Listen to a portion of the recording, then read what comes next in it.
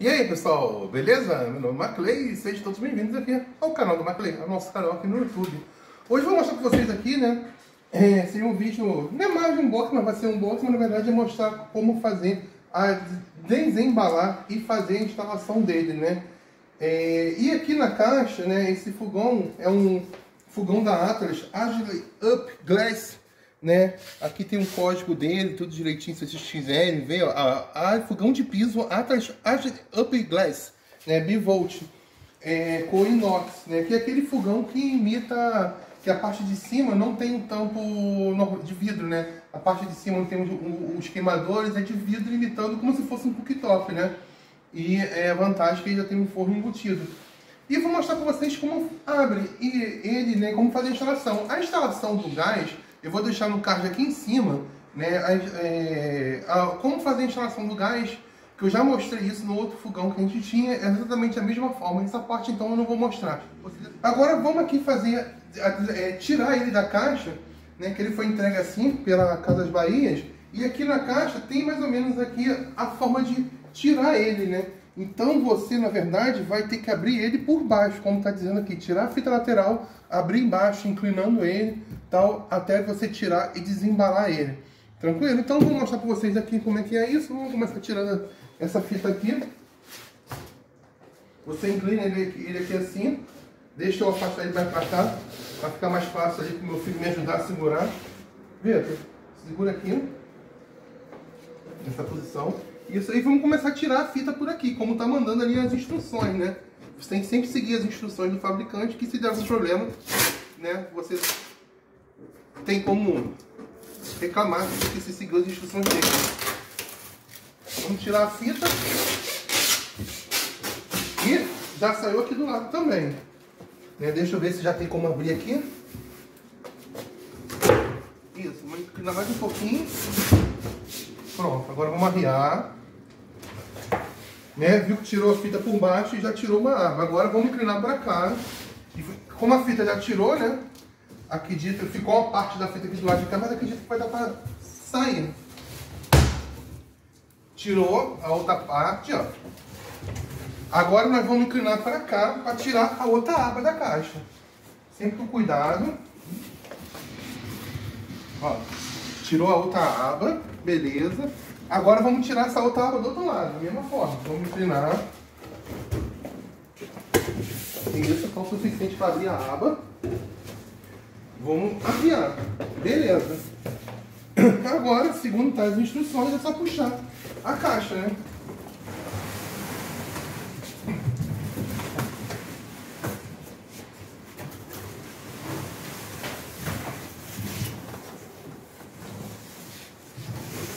Não tem mais nada dentro. É, não tem mais nada dentro da caixa. Caixa de papelão bom, nós vamos usar esse papelão bom para fazer vários serviços. E tá aqui o fogão, né? Ele já tá com o pé direitinho e tal, tudo direitinho, não tem nada que fazer. Agora vamos tirar aqui a parte plástica. Cuidado para não tirar os queimadores.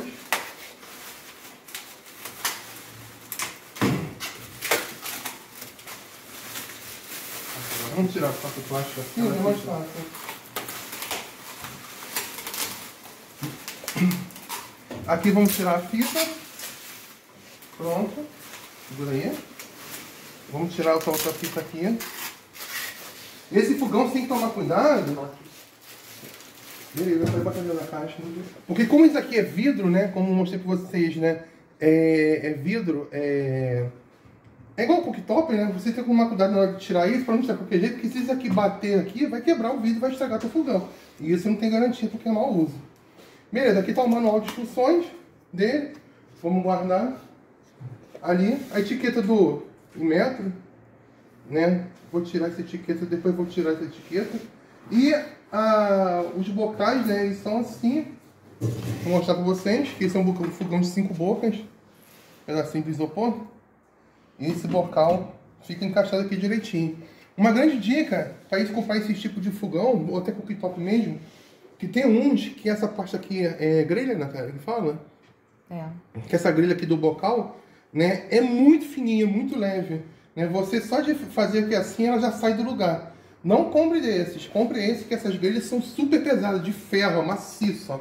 Isso aqui é duro, você tacar aqui na cabeça de você mata, literalmente você mata, de verdade. Não é piada não, né? Porque isso aqui é ferro maciço, é duro, pesado. Então, é legal vocês ir na loja para ver, né? Os que são assim bem robustos, porque esse aqui é do... Cara, você pode botar a panela, arrastar a panela de um lado pro outro, ó. Tô fazendo força com a mão, ó.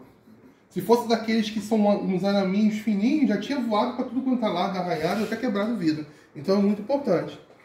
Então, né, vamos tirar também essas outras fitas aqui, né?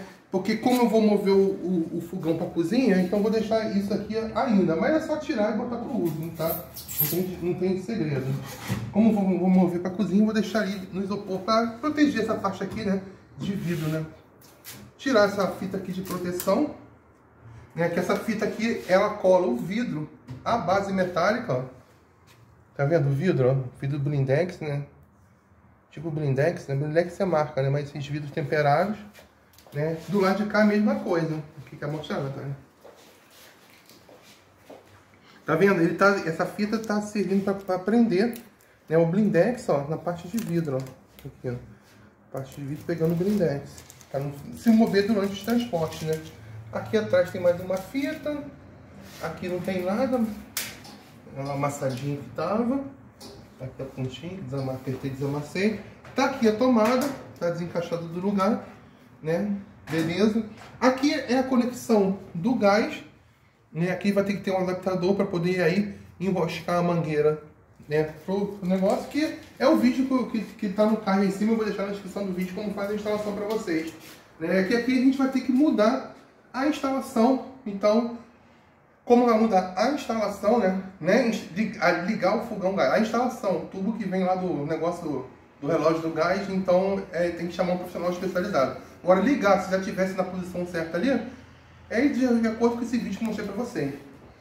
E vamos ver aqui o forno, né? Tem esse plástico aqui, né? Que esse fogão a é, é, é bonita, né? Tem essa parte aqui em aço escovado, ó. É bonito, ó.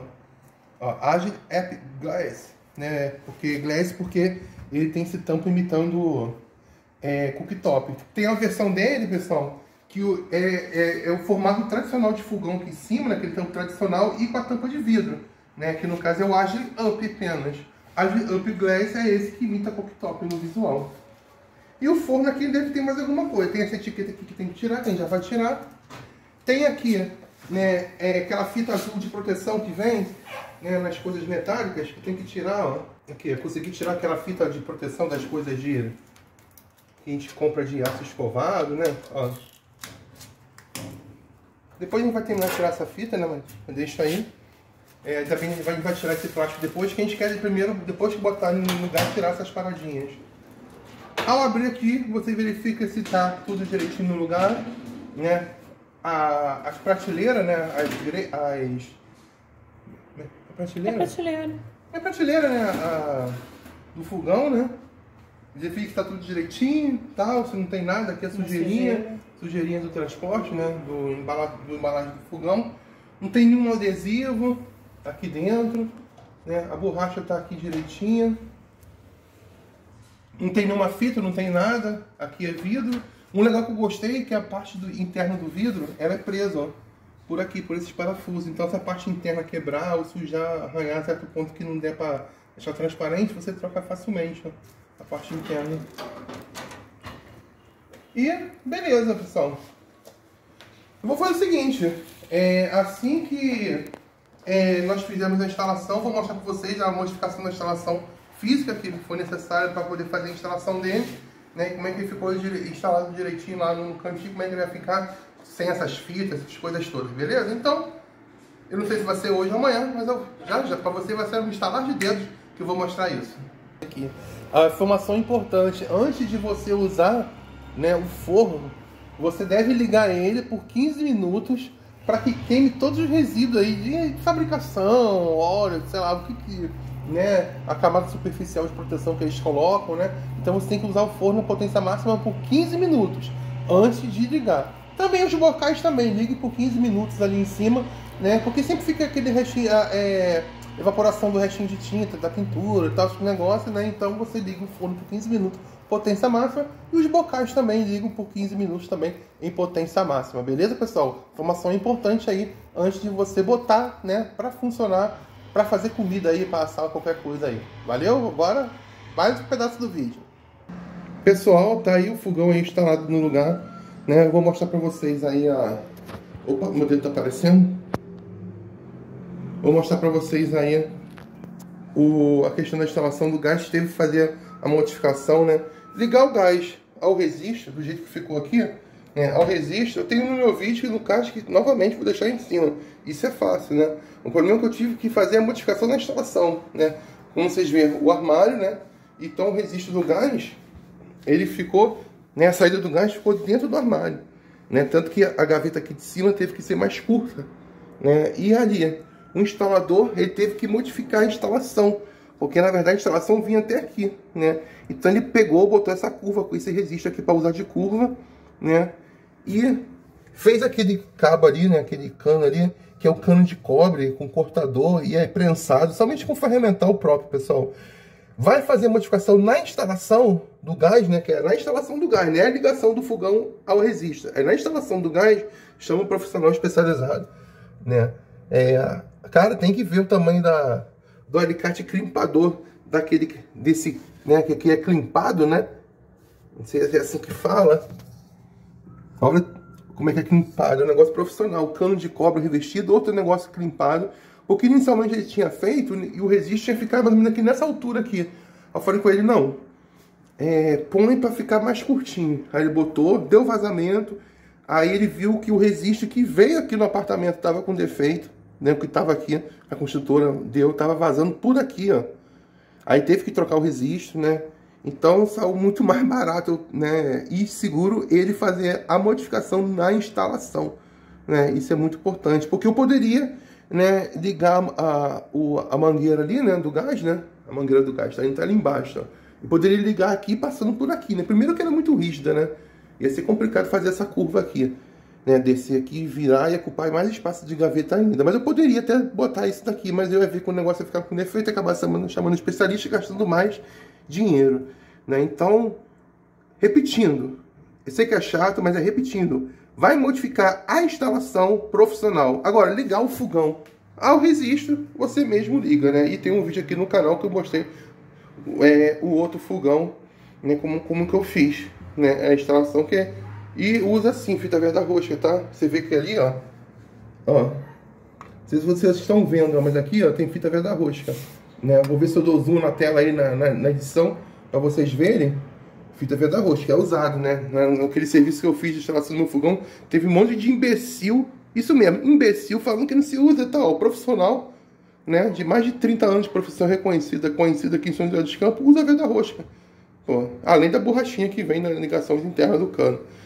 Ah, um detalhe aqui, né? Essa mangueira, quem colocou do resiste dali, eu fiz com do até o fogão, né? Eu fiz com o rapaz mesmo. Porque ele, o valor que ele me cobrou era mais barato que se eu comprar. Se eu já fornecendo a mangueira, é mais barato que eu comprasse apenas a mangueira, né? Muito mais barato.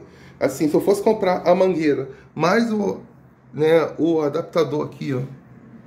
Tá vendo, ó? Essa parte aqui, ó essa peça aqui, ela sai do lugar do fogão. Tem esse adaptador todo aqui.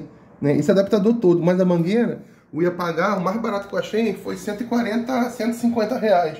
Essa faixa aí, acho que foi 140 e pouco, botar 150 reais. Ele me cobrou 100 reais já instalado com a mangueira. Então, logicamente, né, por questões financeiras ficou mais barato. Mas, né, como eu tive que fazer todo esse serviço aí de modificação da instalação, né, então só fiquei sabendo porque eu chamei ele para fazer essa modificação. Então, se você mesmo quiser fazer, fica a dica aí. Vê quanto que custa a mangueira, aquele adaptador, é, que é obrigatório, porque o fogão só vem com um bingueirinho ali, um caninho ali, que eu mostrei para vocês no vídeo de unboxing. Não, não, no vídeo de unboxing, na parte de unboxing aí do vídeo. Aí você vê quanto que custa isso e liga para uma casa de fogão e pergunta quanto que eles cobram já fornecendo para instalar. Né? A ver se é mais barato. Né? Que economizei 40, 50 reais aí, arredondando aí. Né? Então valeu a pena. Agora sim, vou, minha esposa vai vir que vai explicar aqui alguns detalhes do uso aí do fogão do primeiro uso. Bom, pessoal, a primeira coisa a ser feita, né, quando desembala o, o fogão, é retirar aquelas proteções que vem aqui, né, com vem os isopores, né, em todas as bocas, né, aí é ver se todas essas peças estão completas, né, todos os acessórios estão certos e, e, no lugar, né, nesse caso aqui, esse fogão tem essa boca, né, é, ela é grande, ela tem dois, duas, duas partes dessas de ferro, né? Uma grande e uma pequenininha. A gente soube de casos que já perderam essa pequenininha aqui, que é bem difícil de encontrar. E aí começar a fazer os testes, né? De, de acendimento de todas as bocas.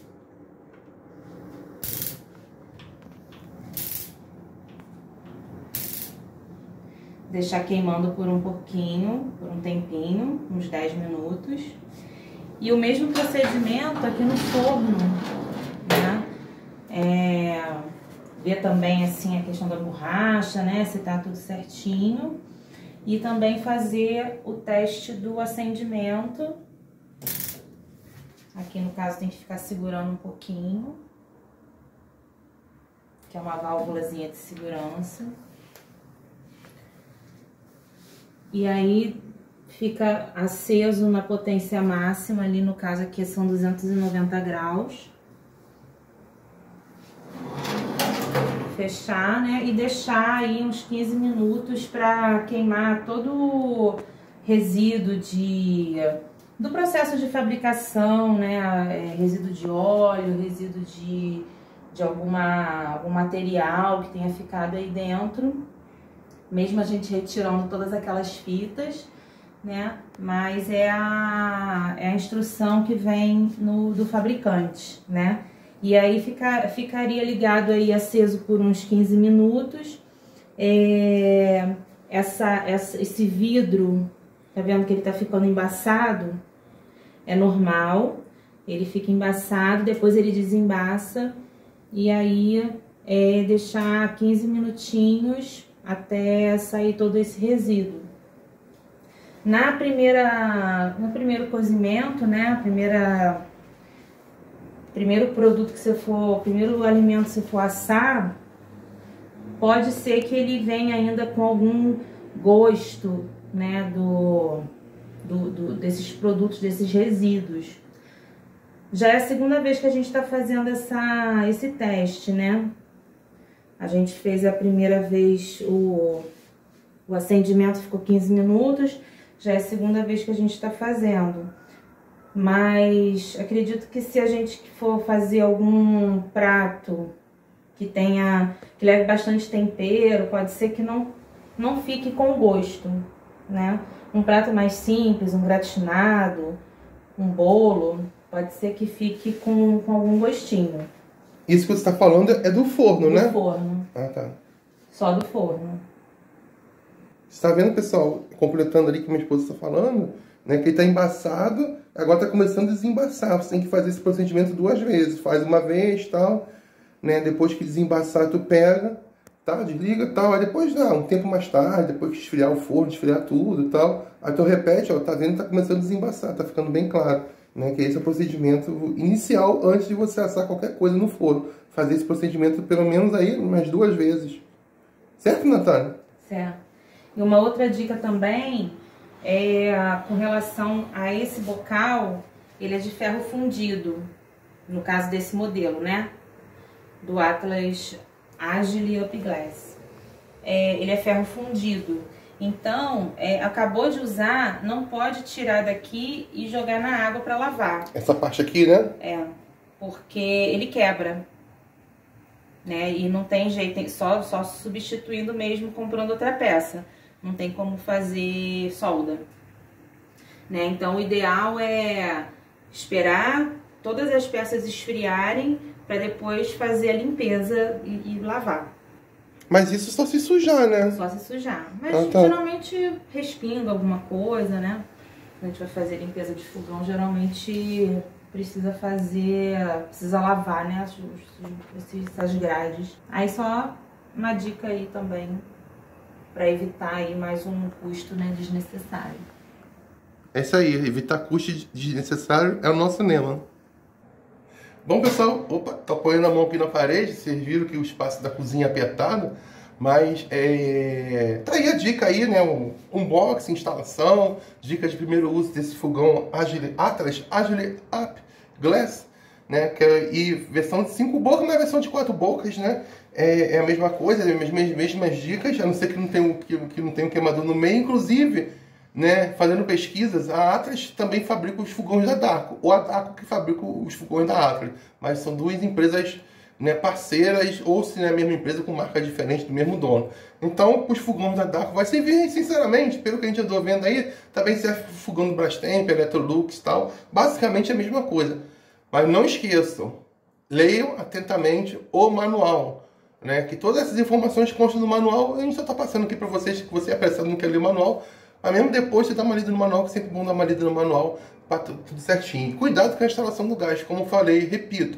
Se for modificar a instalação, chama a empresa credenciada, profissional credenciado, especializado, entendeu? Chama. Agora, para ligar o fogão ao resistor, se não precisar modificar a instalação, você não precisa, você vê naquele meu vídeo que vai estar no link na descrição, que já mostrei nos cards aí para trás. Tranquilo? Que foi a instalação do outro fogão lá no Rio de Janeiro. Beleza? Então, espero, esperamos que vocês tenham gostado aí né, um fogão, né, esse fogão é legal porque ele imita cooktop, né, que é a parte de cima de vidro, né, tem que tomar cuidado porque eu já vi em vários casos a pessoa deixa cair as coisas e quebra, então é um, tem que ter cuidado, como se fosse cooktop, né, é um cooktop com pé, podemos dizer, né, então, né, tome cuidado com isso, esperando que vocês tenham gostado do vídeo, não esqueça de compartilhar o link aí para todo mundo, todo mundo tem que ter fogão em casa, né, então, né, é, é bom o pessoal compartilhar com todo mundo. Pega o link do vídeo, joga no grupo do WhatsApp, do Facebook, aí participa, no grupo das tias, né? Que é muito legal aí, porque você dá, ajuda a fortalecer aí o canal. Valeu, não esqueça do like. É isso aí, pessoal. Obrigado por assistir o vídeo. Até o próximo. Tchau, tchau.